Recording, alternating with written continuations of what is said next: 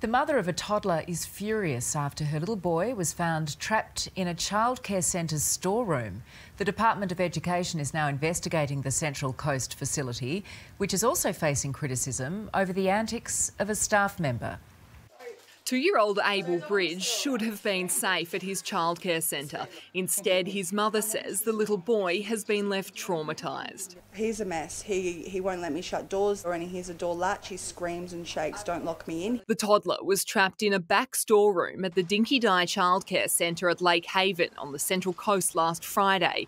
When Samantha and his grandmother arrived to pick him up, employees were simply unable to locate him. The toilets, the offices, the baby room. Mum went into the change room, into the laundry, and she could hear Abel crying, Help, Nanny, help. He was just sobbing, like he was on the corner going, Nanny, help. Abel was found behind a shelving unit in that back room, the little boy distraught and with a soiled nappy. The nappy rash from them leaving him in a soiled nappy has blistered. He's now on antibiotics and steroids from our GP. Dinky Di this afternoon responded to the allegations, saying, We're currently undertaking an investigation regarding a child who accessed a storeroom which is normally locked.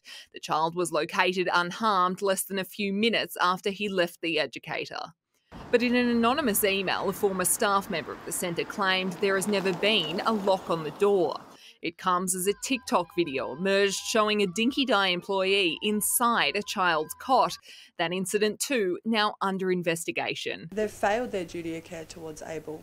Lauren Tomasi, 9 News.